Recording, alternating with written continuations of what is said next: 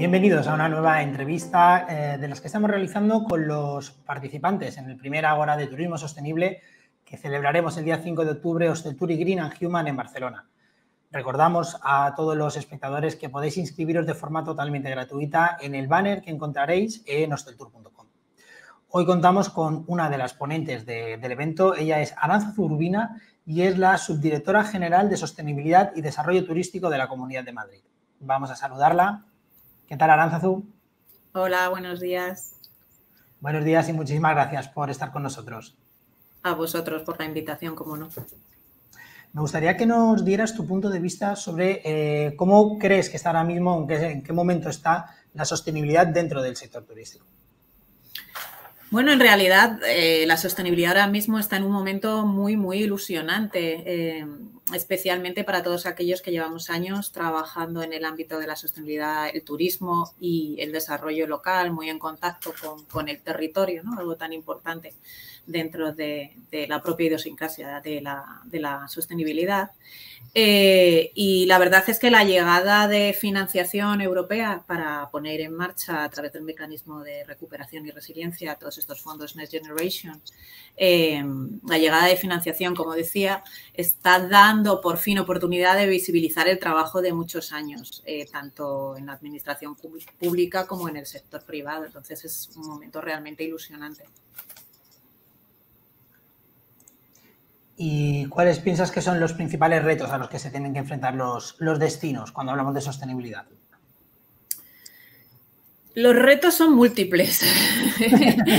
son múltiples y difíciles de enumerar por, por, su cantidad. Yo creo que en turismo, en realidad, el turismo es tan transversal en sí mismo que quizá el, el mayor reto para todos, pero no solo para los destinos o para las ah, administraciones, que, ponemos en marcha políticas públicas en torno a esto. Eh, es precisamente esa transversalidad. Eh, los límites no están definidos, el turismo es todo y, nada en concreto muchas veces y es muy difícil establecer esos límites, por lo que eh, desde mi punto de vista el, reto más complicado es esa, la propia transversalidad del turismo y el establecer límites en un sector que es tan amplio y que abarca eh, en sí mismo a tantos agentes eh, que nada tienen que ver unos con otros. ¿no? Lo medioambiental, lo social, lo económico, lo cultural, lo patrimonial, es muy, muy complejo. ¿Y nos podrías dar algunos ejemplos de iniciativas que estéis eh, llevando a cabo desde la Comunidad de Madrid para ello? Bueno, ya hace muchos años que nosotros venimos trabajando en poner en marcha políticas y líneas de acción eh, basadas en la sostenibilidad, en trabajar eh, de lo local a lo global, eh, esta terminología tan propia de la sostenibilidad, ¿no? pero tan real y tan importante. Entendemos la sostenibilidad como un camino que había que emprender, que hemos emprendido hace mucho tiempo pero seguramente el trabajo más importante es el de la vertebración, la vertebración de los territorios a través de proyectos, productos turísticos, propuestas sostenibles eh, en los que el ADN sea eso precisamente, la sostenibilidad en su triple dimensión, en el sentido más amplio eh, de su concepto, la cogobernanza y la vertebración territorial a través de propuestas eh, bueno, pues que tengan durabilidad en el tiempo y eso solo se consigue a través de su propia sostenibilidad también. Y hablando en este caso de, los turistas, de los visitantes, ¿creéis o detectáis que, hay una sensibilidad incluso que están dispuestos a, a gastar un poquito más por visitar destinos que estén apostando por esas estrategias de, sostenibles? Quisiéramos que fuera así, ¿verdad? Ese es el gran reto, ¿verdad? Sí, bueno, uno de ellos. Vamos a ver, eh, es, evidente y no podemos negar que hay un cambio generacional, eh, no solo en, el segmento turístico eh, más joven, que quizá es quien eh, tenga una mayor concienciación en torno a estas cuestiones. Leía el otro día un artículo que decía que un 15% ya de la población española es vegetariana o vegana. Esto es un cambio de modelo de visión de consumo y esto afecta al turismo también. Y, está en el sector más joven. Pero también es verdad que precisamente el sector o el segmento más joven del turismo más joven no es precisamente el que más poder adquisitivo tiene el que más gasto genera.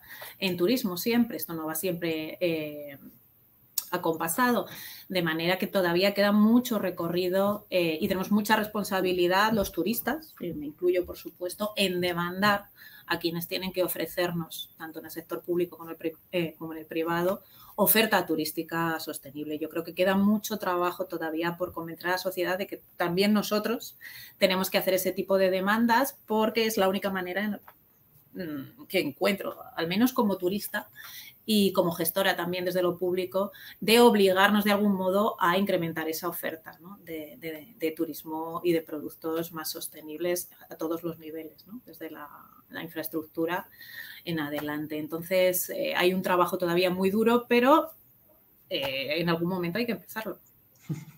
Pues precisamente eh, la última pregunta se la estamos haciendo a todos los participantes y siguiendo un poquito el lema del evento, es si cuando hablamos de turismo y sostenibilidad crees que estamos a tiempo. Siempre se está a tiempo de cambiar las cosas. En la vida hay que ser positivo, desde mi punto de vista. Y desde luego siempre estamos a tiempo de mejorar eh, cualquier aspecto de, nuestra vida y, por supuesto, de nuestra sociedad. Es cierto y es una cuestión indudable, eh, por lo que los científicos y los expertos dicen que medioambientalmente llegamos tarde, el planeta tiene necesidades a las que ya vamos llegando un poquito tarde, pero estoy convencida de que este camino no tiene retorno, ya lo hemos emprendido y la cuestión es conseguir eh, que se integre en nuestra forma de vida y que consigamos, desde luego, mejorar mejorar el turismo desde esa perspectiva y contribuir de la mayor manera y de la manera más intensa posible. Yo estoy convencida de que sí, de que podemos todavía cambiar muchas cosas. Estupenda, Aranzazu. Pues gracias de nuevo por, acompañarnos tanto hoy como, ese día 5 de octubre en el Ágora de Turismo Sostenible que, haremos en Barcelona, Hostel y Green and Human. Y aprovechamos también para recordar a los espectadores que se pueden inscribir gratuitamente desde el banner que encontrarán en hosteltour.com. Muchísimas gracias. Estaré encantada. Encantada de participar. Un saludo.